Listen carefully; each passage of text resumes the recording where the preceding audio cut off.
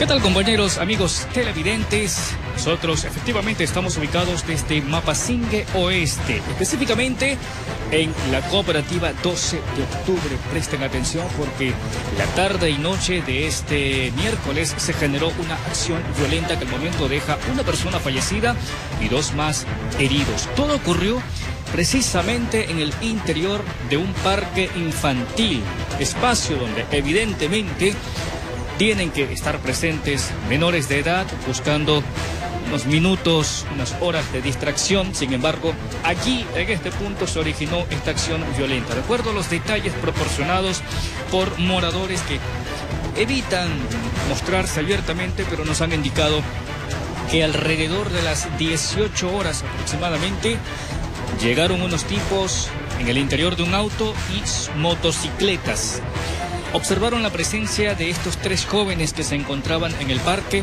y dispararon en repetidas ocasiones.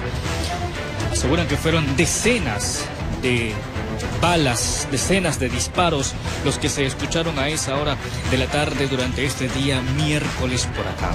En el punto, un joven de apenas 20 años de edad perdió la vida producto de la acción violenta. Aparentemente iban directo a él y debido a que se encontraba en compañía de estos otros dos muchachos también, ellos resultaron heridos. Otro de los afectados producto de esta acción es un joven de 19 años. Y como les decía hace pocos instantes, un espacio para la recreación de menores de edad.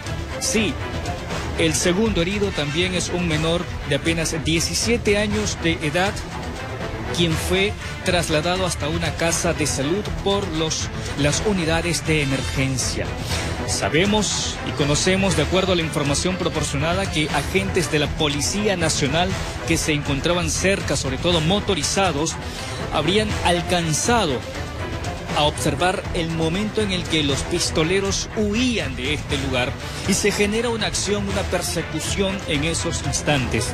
Horas más tarde se habría llegado ya o se habría logrado la captura de los implicados o parte de los implicados en esta acción violenta. En todo caso, ese es un dato o una información que está todavía por confirmarse, de acuerdo a lo que se nos ha manifestado, está todavía por confirmarse esta acción de la detención de quienes serían los principales implicados. Miren ustedes, ahí estamos nosotros observando la huella un poco, la huella de lo que fue esta acción violenta, el punto donde inicia la, la acción violenta, la balacera, la forma en la que, o el recorrido que siguieron los muchachos tratando de escapar, tratando de huir a sus asesinos, a sus verdugos, y el punto en el que habrían caído ya finalmente vencidos, derrotados, por producto de la acción de quienes iban tras ellos con arma de fuego en sus manos.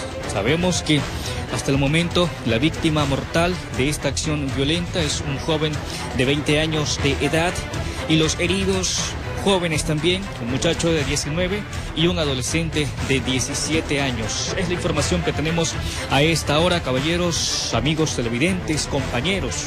Ustedes desde estudio van a continuar con el desarrollo de más información, pero más adelante estaremos también ampliando para ustedes, confirmando si es que hay ya detenidos producto de esta acción violenta. Compañeros, así está la ciudad de Guayaquil, la zona 8, donde tenemos información de que ya van alrededor de 805 personas asesinadas en lo que va del año apenas. Compañeros.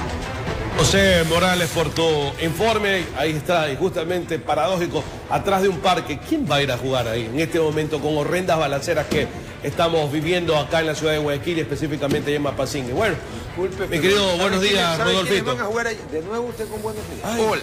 Bueno, ya está bueno. Hola. Ayer, ayer, ayer fueron buenas noches, aunque la grúa está haciendo imputaciones calumniosas. ¿En qué? Que van a ser luego desmentidas. Porque el problema no fue, sino fue un tema de, bueno, después. ¿Eh, ¿Para qué? ¿Sabe quién va a jugar allí? Los que matan. Los que lo mataron allí. Ahí van Ellos creen que el parque es para ir a matar. Y para que vea que así la cosa, nos vamos con Jorge Salazar, que seguramente no nos va a hablar ni de una kermés infantil, ni de un bautizo, ni de una primera comunión, sino de algún otro problema. A ver, Jorge. Hola.